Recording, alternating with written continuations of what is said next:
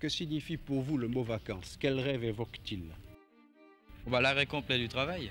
Pour moi, c'est une évasion, quelque chose qui rompt avec la monotonie. Nous partons en Espagne, euh, comme d'habitude. Enfin, les, les, vacances avec un grand V, comme on les voit habituellement. Quoi. Le touriste veut tout voir tout savoir. Ça ne nous aura pas échappé, nous n'avons jamais autant voyagé. Et il est de taille, le tourisme est à lui seul responsable de 8% des émissions de gaz à effet de serre dans le monde. Nous montrons ce que tous les étrangers s'attendent à voir. Des riverains excédés, des visiteurs mécontents et des écosystèmes de plus en plus fragilisés. On entend parler de tourisme durable, mais qu'est-ce que ça veut dire concrètement? Ce tourisme-là, c'est pas drôle, c'est contraignant, faut aller à l'autre bout du monde, c'est cher, on s'ennuie. Avec les toilettes sèches à 300 mètres et un filet d'eau sous la douche, non merci. Comment sauver nos vacances sans ruiner la planète? Bonjour à toutes et à tous et bienvenue dans un nouvel épisode du Verre à moitié plein, le podcast du tourisme durable. Voyager, c'est parfois rentrer dans un livre d'histoire ou plein journal télévisé. Éric Delcasso, mon invité du jour, a plus de 40 ans de voyage, d'alpinisme et d'exploration derrière lui. En se retournant sur son parcours, il s'aperçoit que la géopolitique a dicté nombre de ses choix, les a imposés. À travers ses périples, Éric Delcasso peut relire la géographie politique de ces 40 dernières années, et vous le savez, elles ont été mouvementées. Quand le voyage rencontre la grande histoire, c'est à travers cet angle qu'Eric vient nous raconter ses expéditions passées. Bonne écoute. Euh, Éric Delcasso, je suis pyrénéen et de famille et de cœur. Je suis donc de la vallée d'Or, euh, pays des Nestes, euh, au fin fond des Hautes-Pyrénées. Et je suis né dans une famille plutôt traditionnelle pyrénéenne, qui donc, certains membres de la famille pratiquaient encore l'agriculture, d'autres euh, la forêt. Et donc, euh, je dirais, j'ai passé mon enfance dans un milieu montagnard traditionnel, ce qu'on appelle un peu l'agro-pastoralisme. Et j'ai découvert la montagne, mes, mes, premières sorties en montagne très jeune, puisque je devais avoir 6-7 ans. C'était en suivant le, troupeau familial de mon oncle, en, allant voir les chantiers forestiers de, mon autre oncle. Donc euh, très vite, j'étais immergé dans le monde de la montagne.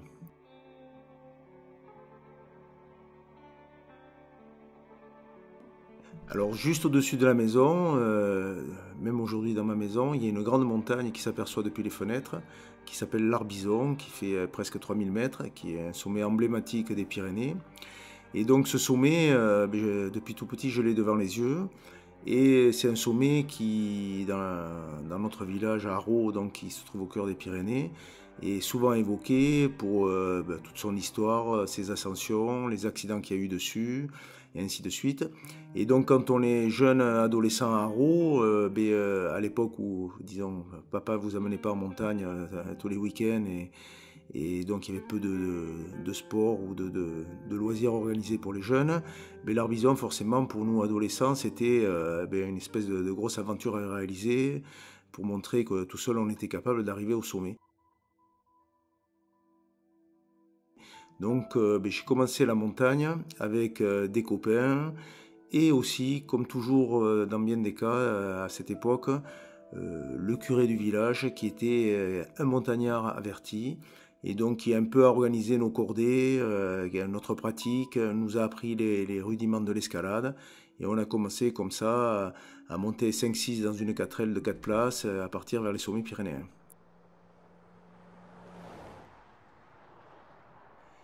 Voilà, alors donc, euh, ben, une fois étudiant à Toulouse, euh, euh, j'étais donc étudiant à l'INSA de Toulouse, et il y avait un club montagne, et forcément, ayant quitté ma vallée, je me suis de suite dirigé pour mes week-ends sur le club montagne.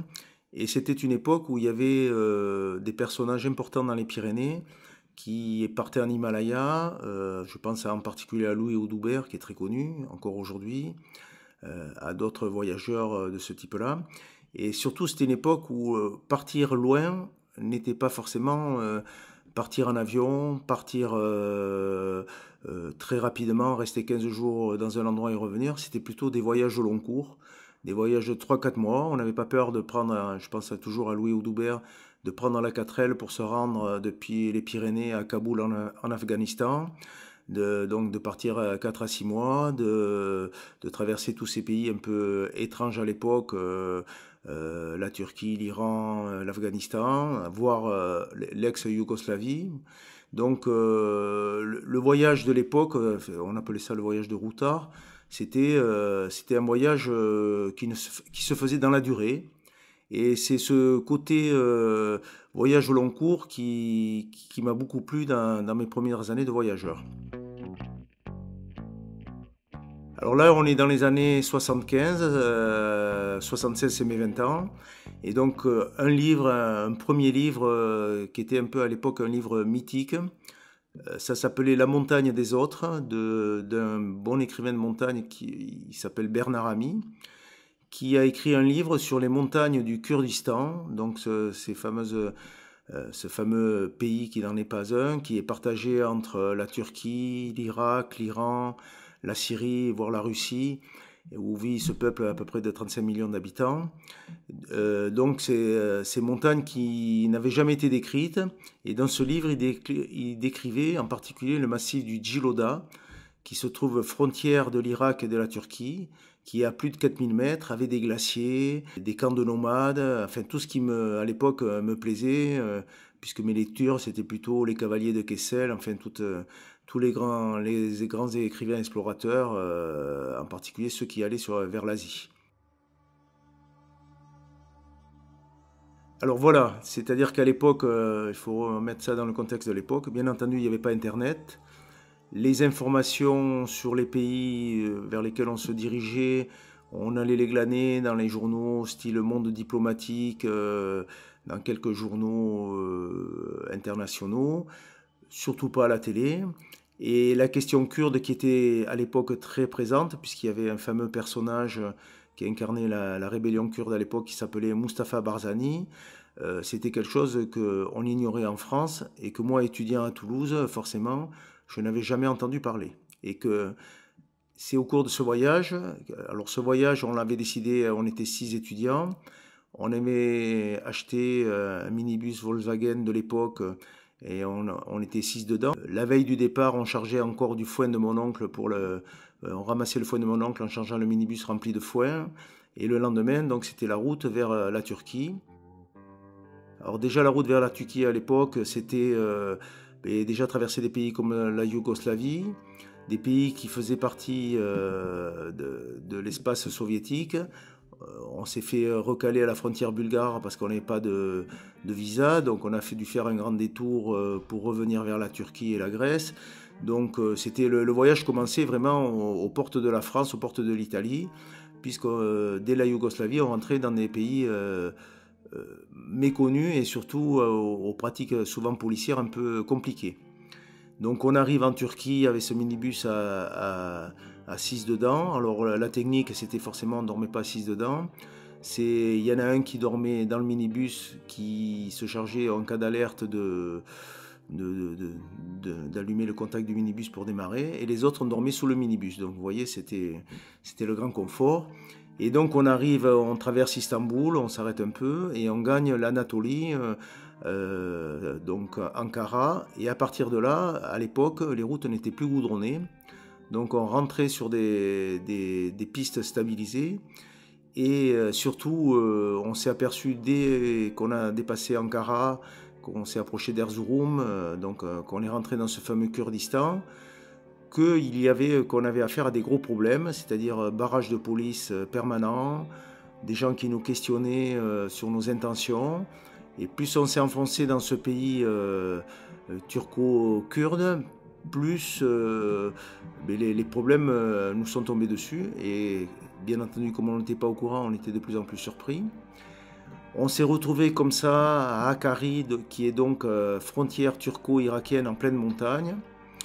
Euh, alors là, on était entouré de, voitures blindées, de chevaux de frise, de contrôle euh, de commando de l'armée turque.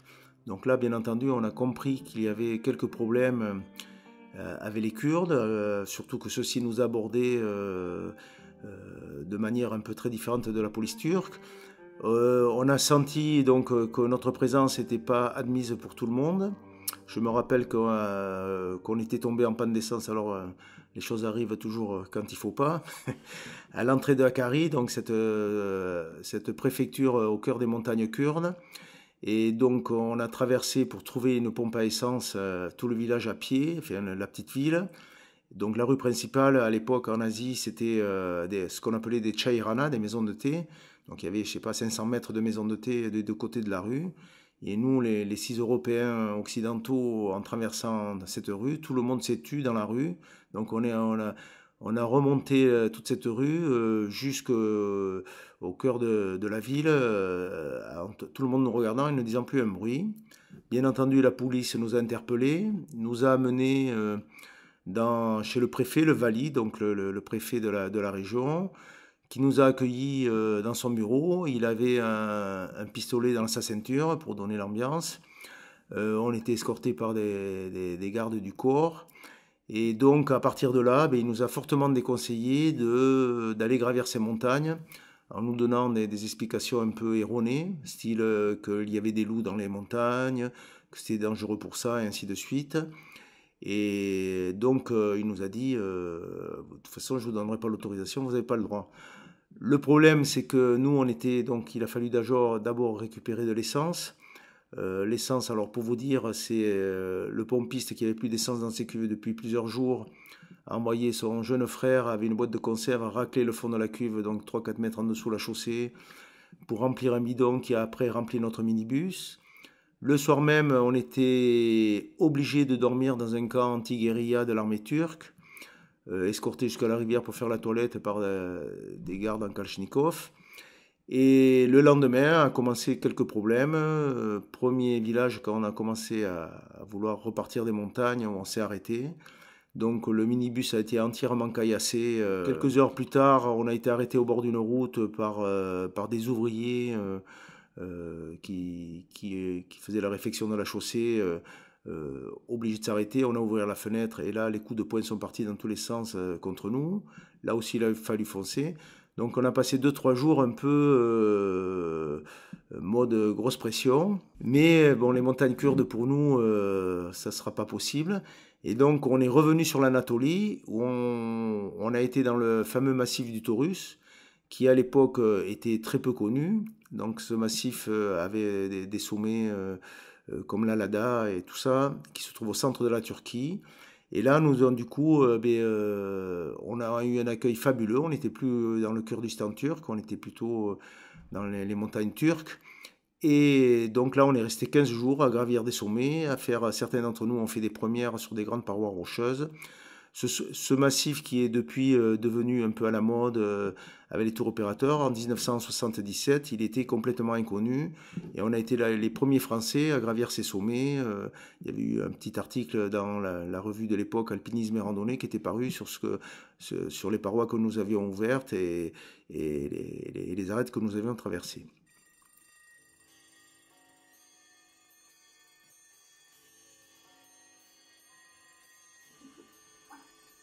Donc, euh, après ce voyage en Turquie, euh, notre petite équipe euh, a, pris le goût de ce type de voyage et donc chaque année, on est reparti.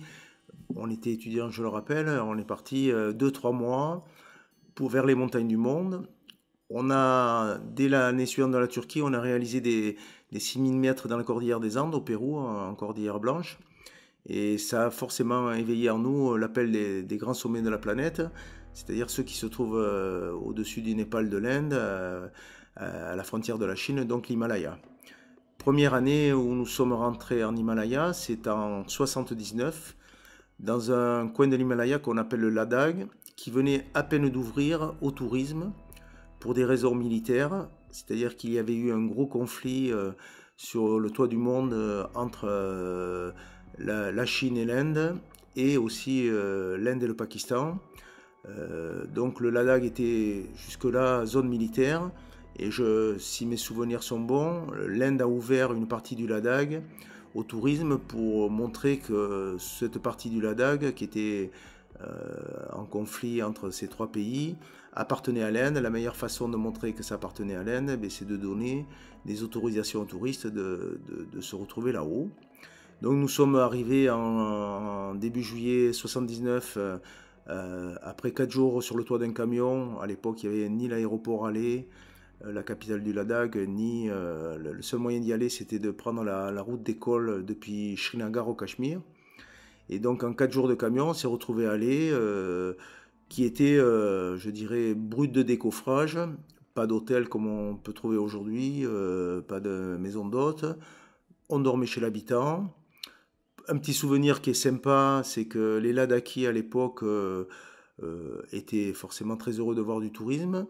Et c'était juste après l'année de la Coupe du Monde de foot en Argentine en 1978, où la France avait brillé. Et malgré qu'il n'y ait pas de télé et tout ça, ils étaient passionnés de foot. Et dès qu'il y avait des touristes qui arrivaient là-haut, ils essayaient de faire des matchs de foot avec les touristes. On n'était pas très nombreux pour faire une équipe là-haut. Et ils nous amenaient jouer sur le terrain de polo qui se trouve à 3500 mètres d'altitude. Donc nous, on était bons au foot et eux, ils étaient bons en altitude. Et donc le match euh, se passait, les Ladakis couraient comme des lapins et nous, on, eh bien, nous, on n'arrivait pas à courir après le ballon à cause de l'altitude. Et donc les Ladakis gagnaient et ça faisait des petites fêtes le soir autour de ce terrain de polo qui aidait à la rencontre de, disons, des différentes cultures là-haut. Et ça faisait un peu, enfin, il y avait une ambiance qui a disparu forcément avec le grand tourisme. Donc le Ladakh des, années 79-80 était, euh, était un Ladakh euh, d'aventourisme où, où la présence militaire était très forte et surtout l'aventure, euh, tout était aventure depuis donc rejoindre les sur le toit d'un camion, comme de partir en montagne, c'est-à-dire qu'il fallait aller aux portes d'un village pour trouver euh, des muletiers pour amener le matériel au, pied des glaciers pour faire des 6000 mètres. Donc euh, forcément, il fallait du temps. Le muletier, il apparaissait le deuxième ou troisième jour quand il avait appris que quelques Occidentaux voulaient gravir une montagne et qu'ils avaient besoin de, portage. Donc euh, c'était le voyage toujours pareil, un peu celui qui m'a toujours intéressé où la notion du temps ne comptait pas et on, prenait le temps de la découverte et, du partage avec les personnes qu'on croisait. Donc dans ce premier voyage, on a gravi euh, les 6000 qui se trouvaient en face de Lé, euh, la capitale du Ladakh. Donc le, stock Kangri à 6100 mètres, euh, le Goluk Kangri. Euh, et nous sommes restés un mois là-haut. On a eu aussi des, rencontres très particulières dans les monastères tibétains. En particulier, un jour, on était sur le monastère d'Emis, qui est un des plus grands monastères là-haut, à près de 4000 mètres. On est, euh, pareil, on avait été faire un petit trekking autour du monastère. On nous a demandé si on voulait rencontrer le gourou Rinpoche. Bien entendu, on ne savait pas qui c'était.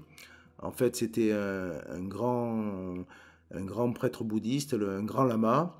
Et donc on a passé un entretien avec lui euh, sans savoir en fait la valeur qu'avait cet entretien puisque euh, dix minutes avant on ne savait même pas qu'on allait discuter avec lui. Donc euh, de belles rencontres.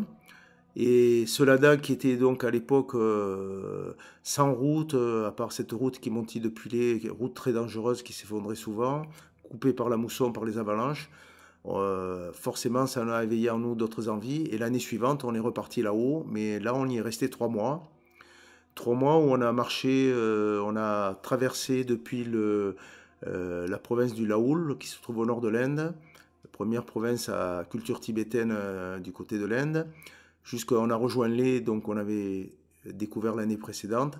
Et là, on a fait 35 jours de marche dans des vallées perdues, on a traversé des glaciers,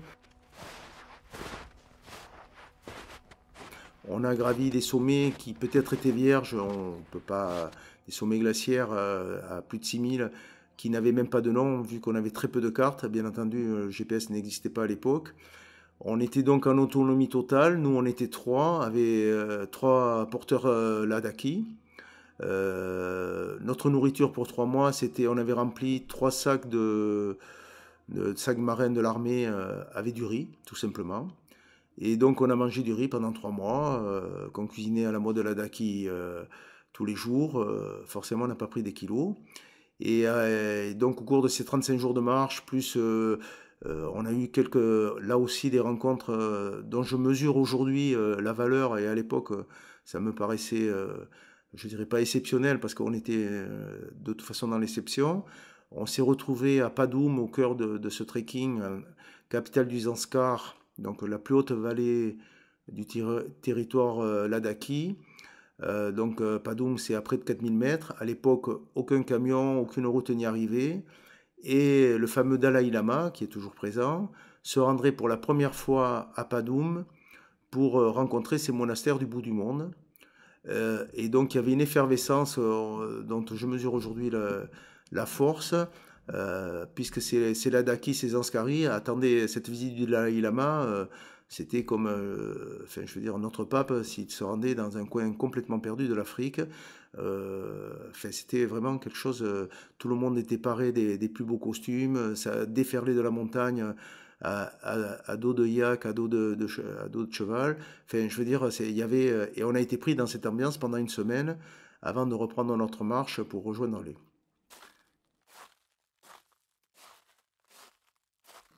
Alors, dans, au Ladakh, je suis retourné, alors, parce que là, j'étais tombé pardon, complètement amoureux de, de ce pays tibétain euh, au nord de l'Inde. J'y suis retourné trois ans après.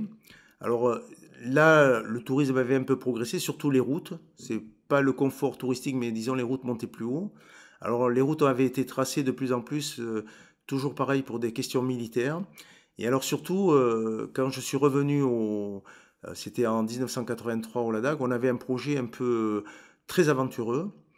C'était euh, de partir donc de Padoum, qui à l'époque était donc euh, rejoint par une piste assez chaotique, et de là rejoindre le fameux Dharamsala, au nord de l'Inde, où se trouvaient en résidence permanente les réfugiés tibétains et le Dalai Lama.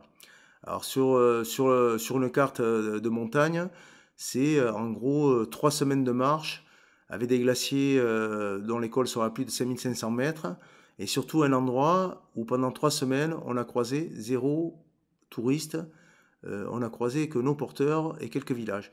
Par contre, le climat politique avait beaucoup changé, et c'est là où on s'est fait pareil, euh, on n'était peut-être pas assez informé, ou on n'avait pas mesuré tout le, tout, le, problème qu'on pouvait rencontrer.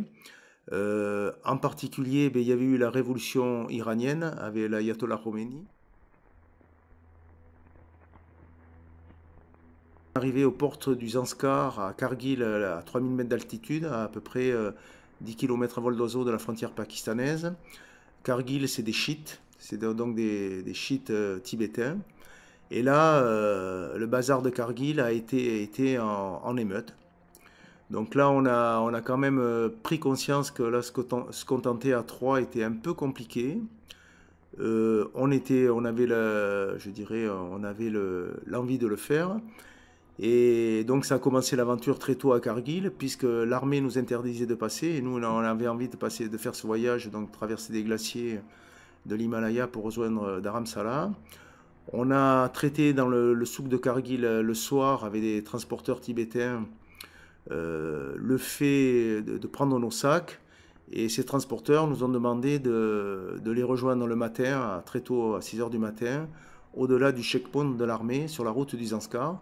C'est-à-dire qu'on a confié tous euh, nos sacs pour trois semaines, euh, notre matériel à des gens qu'on ne connaissait pas du tout. Le matin, à la nuit euh, du matin, on est parti à travers les champs d'orge à quatre pattes, contourner les, postes de contrôle de, de l'armée indienne. Les camions nous attendaient et donc on est parti pour trois jours de voyage sur le toit de camion. Euh, quand on est arrivé dans la vallée du Zanskar, la route est extraordinaire puisqu'elle longe le glacier du Durung Durung, un glacier qui fait 25 km de long. La, piste est le long du glacier. Et là, il s'est mis à neiger. Euh, donc, euh, on était sur le toit du camion avec des gros flocons de neige. Il faisait tellement froid que le matin, le chauffeur a allumé le feu sous le diesel du camion pour, pour dégeler le diesel pour redémarrer. Nous sommes arrivés comme ça à Padoum. Et de là, nous sommes partis euh, donc trois semaines en autonomie, nous trois, euh, trois copains pyrénéens, et trois porteurs euh, du Zanskar qui portaient donc nos fameux riz et aliments lyophilisés sur le dos. La partie montagne s'est globalement bien passée malgré une tempête.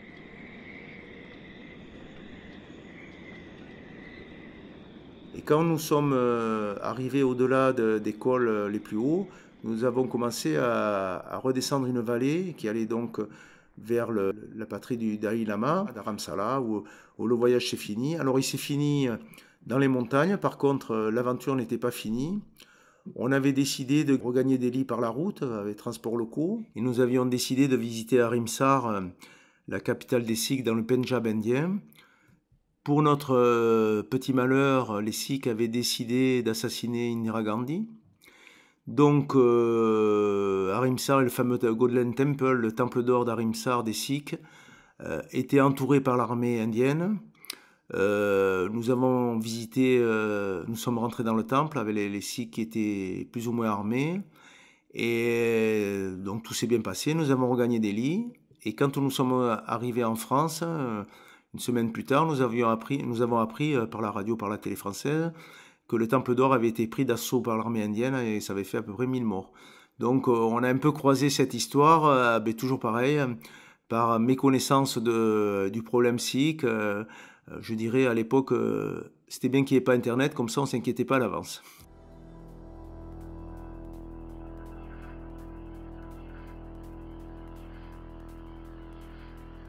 Donc dans la décennie 80-90, beaucoup d'Himalaya, beaucoup de Népal en particulier. Et par contre, euh, dans cette décennie-là, euh, les pays de l'Est, les pays de l'Union soviétique et des satellites étaient interdits à, la pratique euh, montagnarde, euh, problème de visa, problème, tous les problèmes qu'il y avait avec la guerre froide. Et donc en 89, le mur de Berlin est tombé et de suite, on s'est intéressé à même. Alors là, à l'époque, je travaillais, j'étais revenu dans ma vallée travailler en tant qu'accompagnateur en montagne et une petite structure de, ski que j'avais sur la, la, vallée de Saint-Lary.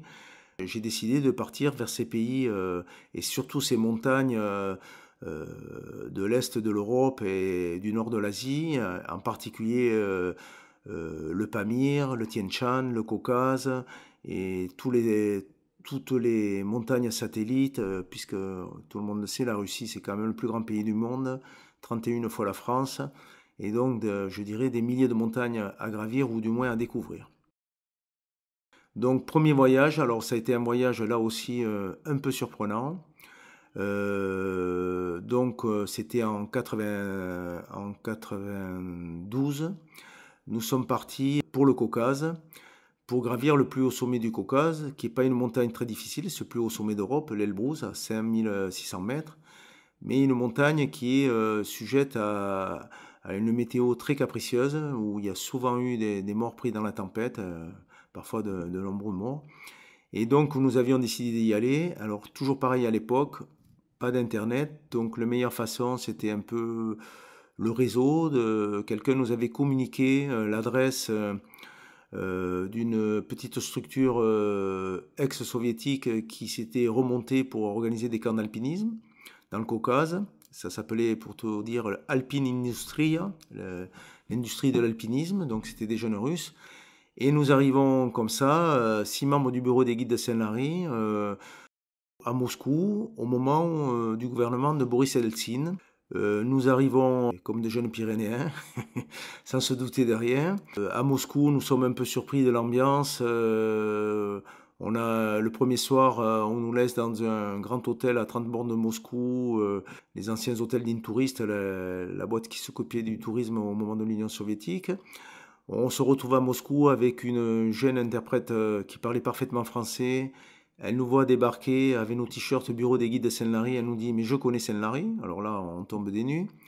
Effectivement, plus jeune, elle était venue grâce aux amitiés franco communiste euh, et soviétique, elle était, elle était venue euh, passer une colonie de vacances euh, au Plat d'Adé, au-dessus de Saint-Lary, dans notre vallée.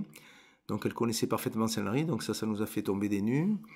Elle nous a donc véhiculé et promené dans Moscou. On a eu la surprise, et là c'était une énorme surprise.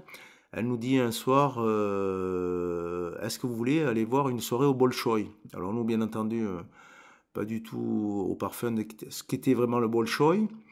Euh, ben on dit oui.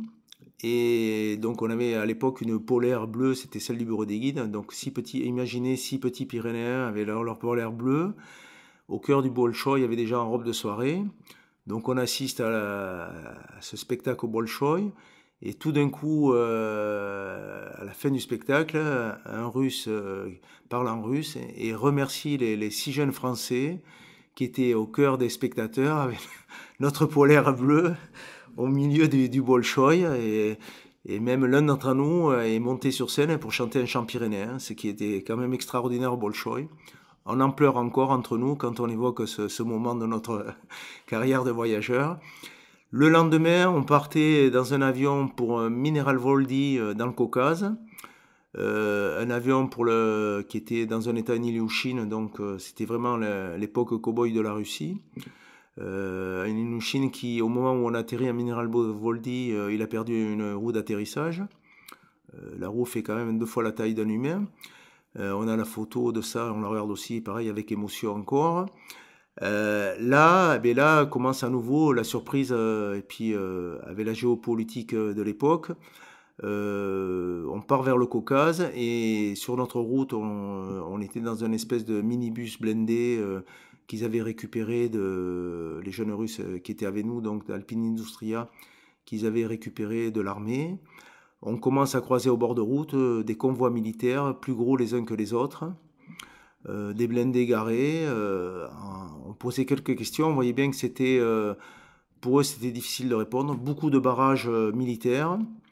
On arrive, alors là, on est rentré dans une séquence James Bond. Notre minibus s'est garé au pied d'une falaise. On était dans, au cœur de la vallée montagnarde. Et on s'est dit, tiens, on va commencer à marcher. Et là, il y a une espèce de plateforme qui est descendue sur 200 mètres, comme un funiculaire.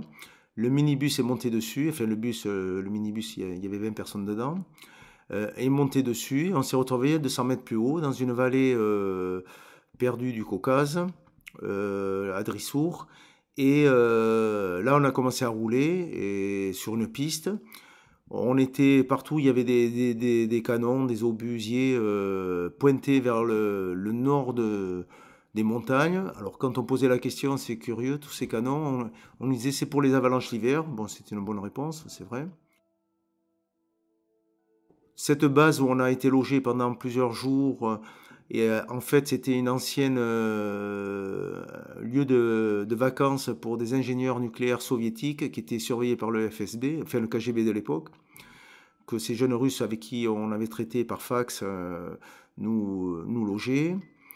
Là, malheureusement, on a eu un petit événement un peu compliqué. Euh, donc, avant de faire l'Elbrus, on voulait s'acclimater sur des sommets glaciaires.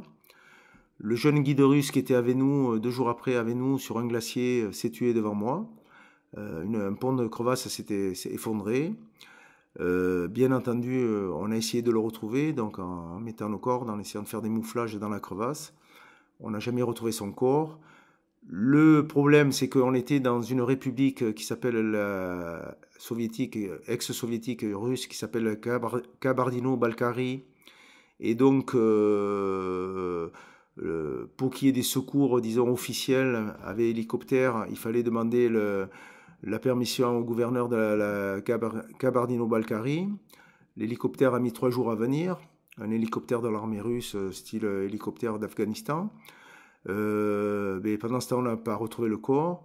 Au bout de quelques jours, donc, il y avait une vive émotion parmi notre équipe euh, de Russes. Euh, le soir, on était dans la datcha au pied du glacier. donc, ses amis et sa femme sont venus nous voir avec des bouteilles de vodka. Sont venus nous remercier d'avoir essayé de retrouver leurs copains.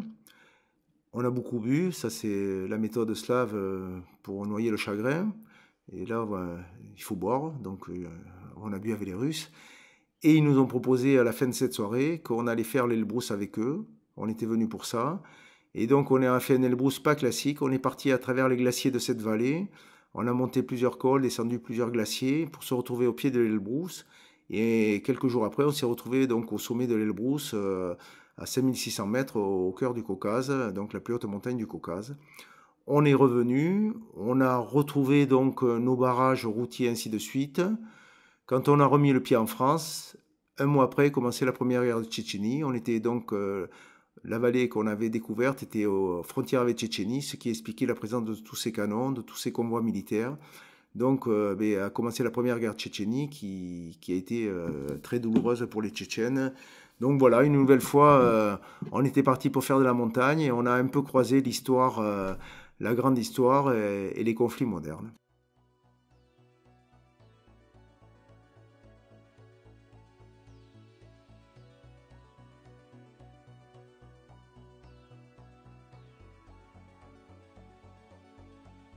Donc la décennie entre l'expédition au Caucase et le 11 septembre, euh, ben, j'ai continué ma visite parce que c'était un peu mon programme que j'étais voté en, J'étais devenu un professionnel de la montagne, mais aussi euh, quelqu'un qui voulait donc découvrir le monde à travers ces montagnes.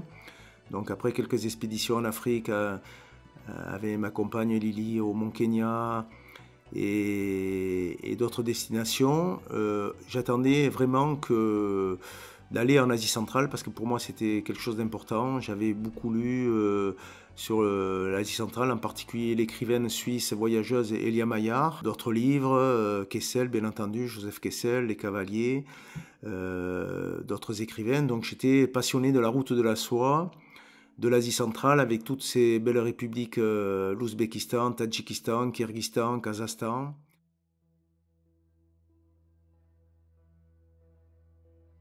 Premier voyage qui était programmé, c'était l'an 2000.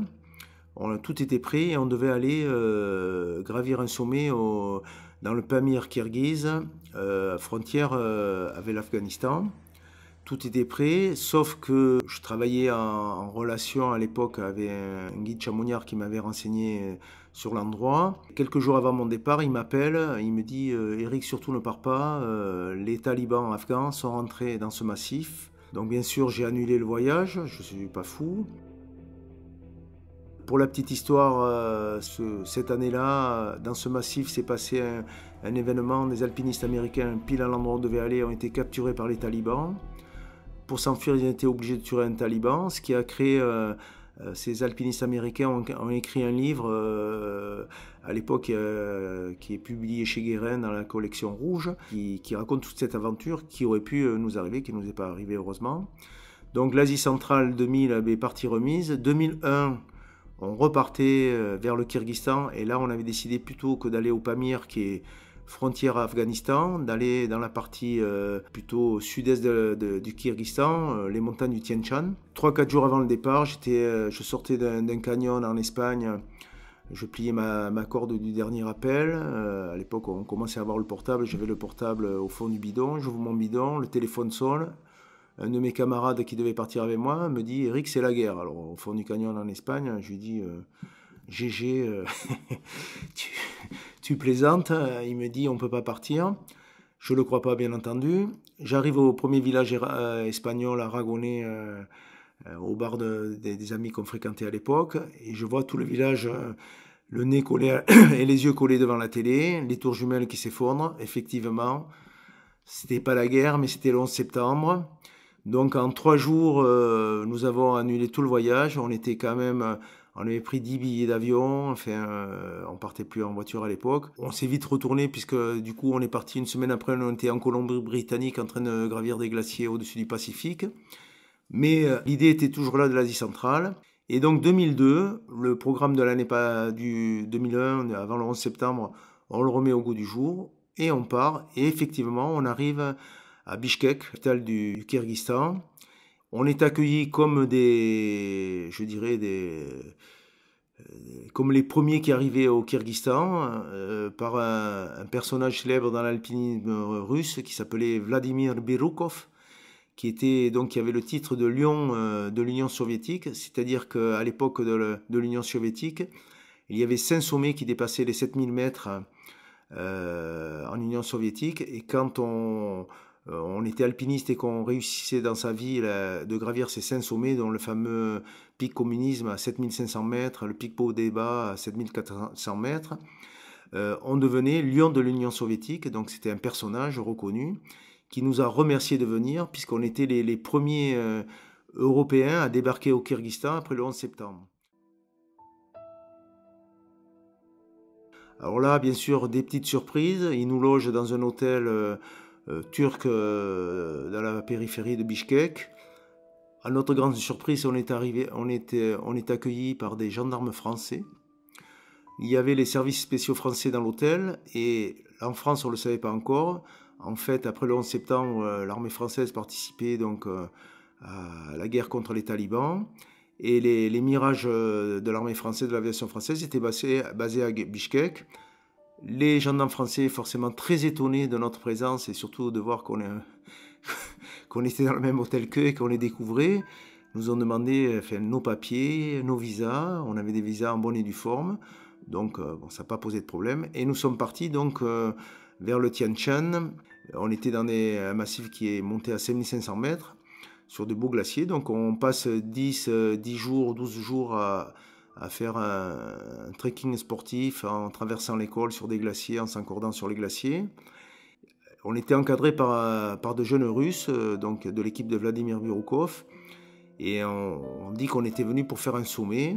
Et donc ils nous proposent d'aller faire un, sommet euh, euh, dans une autre partie du Tian Shan, euh, le, fameux Corona Peak, qui est une très belle montagne, qui est en photo dans certains livres de montagne euh, qui recensent les montagnes du monde, les plus belles montagnes du monde.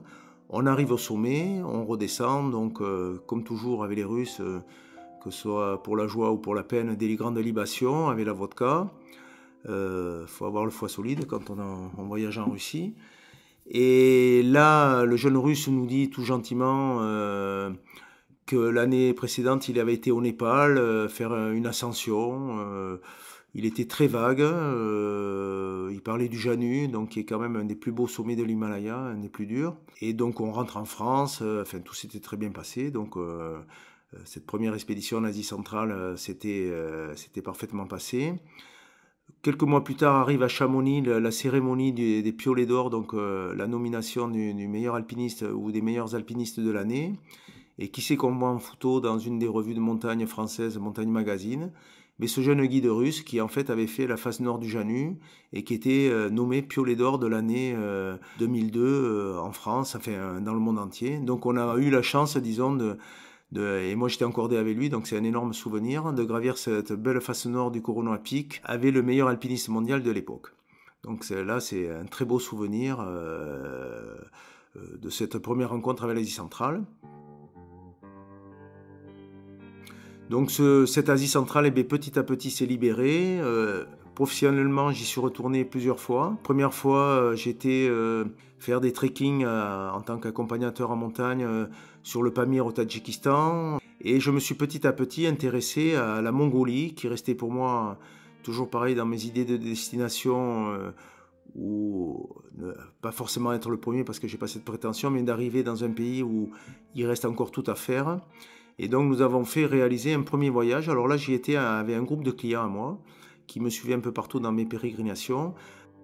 Nous sommes arrivés donc euh, dans les années 2006-2007 en Mongolie, à Ulaanbaatar. Nous avons fait, euh, je pense, la première traversée de l'Altaï mongol en 15 jours de marche.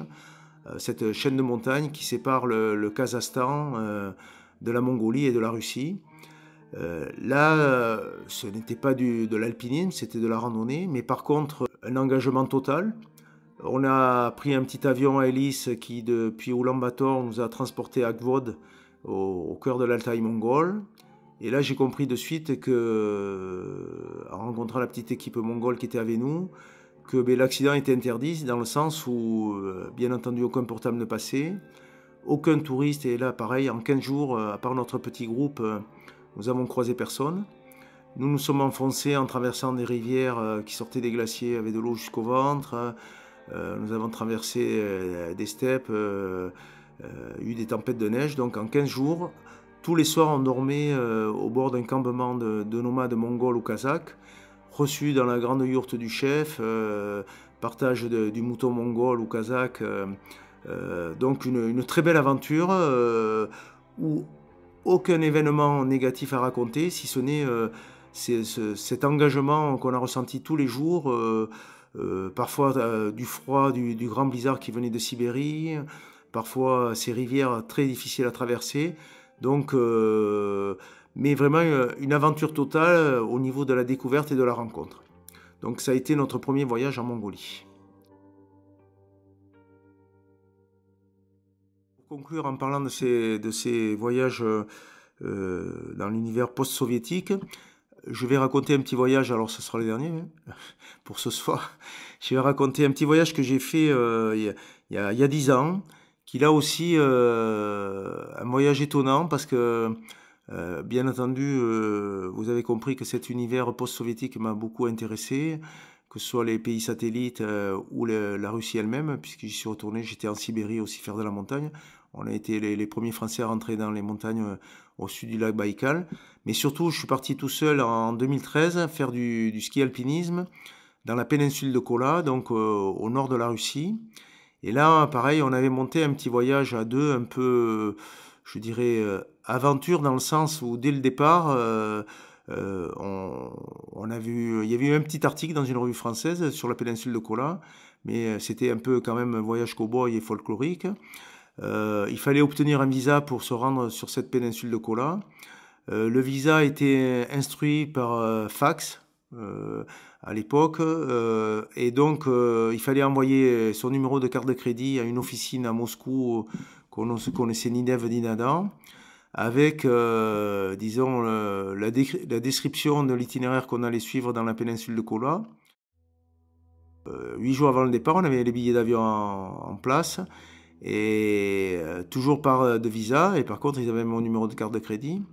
Bon, tout d'un coup, mon fax s'est mis à faire du bruit, est arrivé les visas russes, et nous avons débarqué à Mourmansk. Alors, pour ceux qui le savent, Mourmansk, c'est la base des sous-marins nucléaires soviétiques.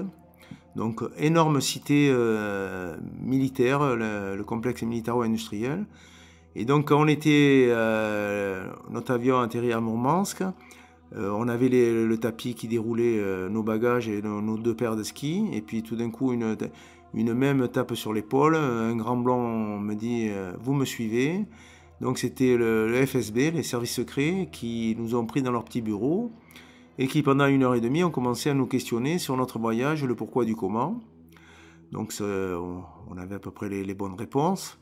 Ils nous ont libérés, on a été chercher, on avait loué une, Lada avec des pneus cloutés parce que le, péninsule de, Kola en plein hiver, c'est quand même l'Arctique. Et donc là, nous sommes partis, nous avons euh, rejoint, on avait réservé euh, le, le Sport Hotel à Kirovsk, qui est une ville minière de 30 000 habitants au cœur de la péninsule de Kola. Alors pour décrire l'ambiance de Kirovsk l'hiver, c'est 5 euh, mètres de neige dans les rues, c'est-à-dire qu'on accède au bâtiment par le second étage.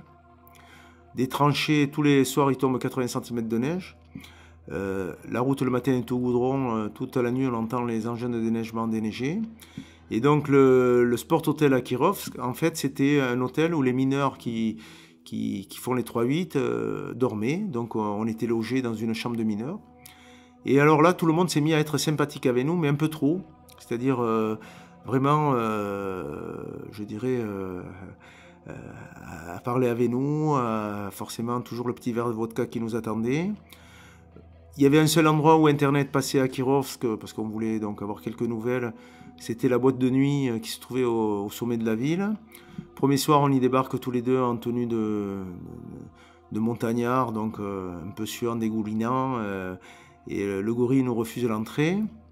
Euh, on fait 10 mètres en redescendant l'escalier. Euh, il nous rappelle, le patron était devant la porte. Il nous dit Venez, venez, vous êtes les bienvenus. Donc, ambiance, je dirais, post-soviétique, boîte de nuit, comme on disait, galinette cendrée, enfin bon, des dames en petite tenue, tout ça. On, était étonnés de cet accueil. Les jours de mauvais temps, on se promenait dans Kirovsk, on a été se baigner dans la piscine olympique, et ainsi de suite. Et tout le monde vraiment nous ouvrir la porte, euh, le bienvenu. On était les deux seuls Européens ou Américains occidentaux dans tout Kirovsk, 40, 30 000 habitants. Et en fait, on a compris que la meilleure façon de nous surveiller, et on a mis un petit moment à comprendre, c'était en fait de nous accueillir partout. À partir du moment où on nous recevait, on avait le contrôle sur nous.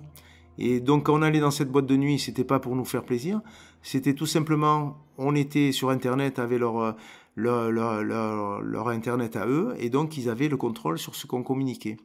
Donc en fait, cet accueil euh, de, ces 15 jours euh, dans ces montagnes de la péninsule de Kola, ont, été, euh, enfin pour nous a été parfaite puisque comme je vous le dis l'accueil a été parfait, mais en fait on a été surveillé du début à la fin, sauf un jour où il y avait une énorme tempête de neige.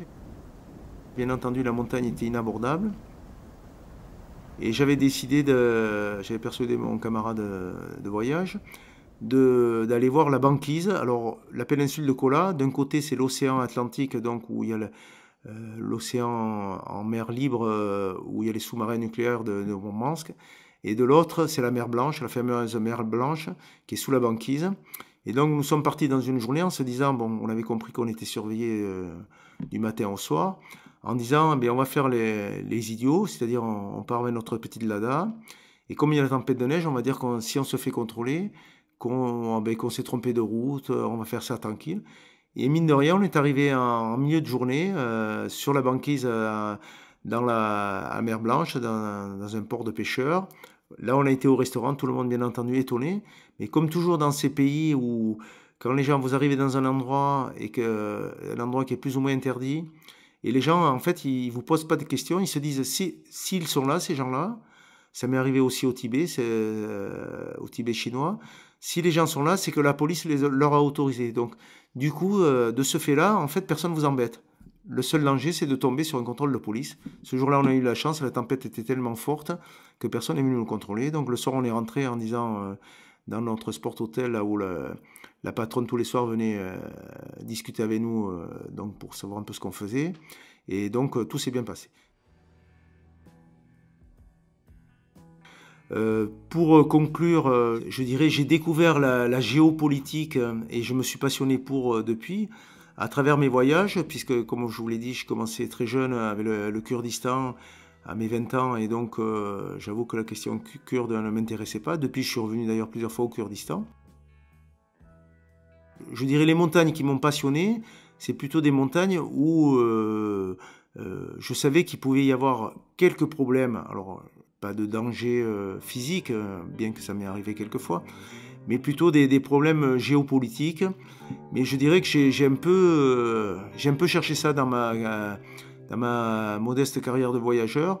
C'est de, à la fait en fait de rencontrer une montagne qui autour d'elle avait une histoire liée à la grande histoire, à la géopolitique, que ce soit l'Aya, la Roménie, la chute du mur de Berlin, divers événements qui, ont traversé l'histoire pendant ma petite carrière de, de montagnard.